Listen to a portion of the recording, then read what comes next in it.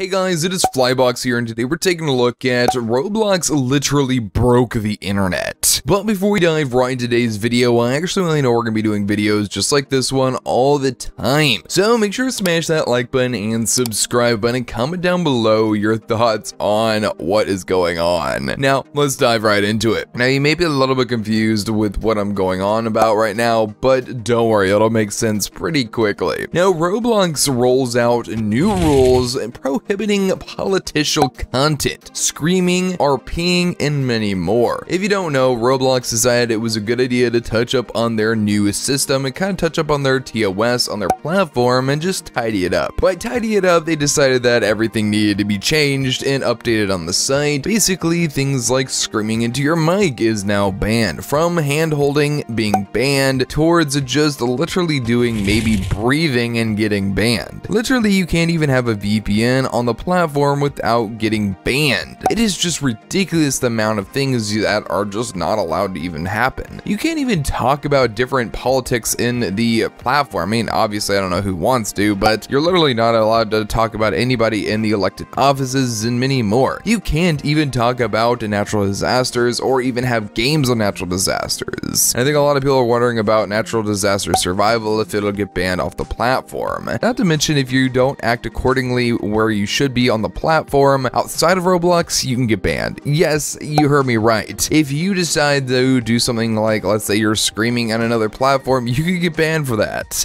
Or I think, that's if I'm reading these rules right, it's just insane. And because of these new TOS, it completely shocked the internet. It completely broke everybody. I mean, people outside of the Roblox community heard about this. People outside the Roblox community who don't even play Roblox read the rules of Roblox and sped run Roblox. Like, Quackity actually literally just started speedrunning the platform to try to get banned as fast as possible. People started putting out their opinions on Roblox and many more. It was a yikes for sure, but after a little bit of silence from Roblox, they wound up quickly, I think it was uh, 24 hours or 48 hours after the release, they wound up just changing the TOS again and just clarifying a lot more and just kind of putting a little bit more emphasis on what actually they were trying to show, and the TOS still makes a little bit not sense, but definitely is more clarified. Now you can actually have a VPN on the platform. Screaming is meant for pretty much like excessive screaming or people who are just trolling towards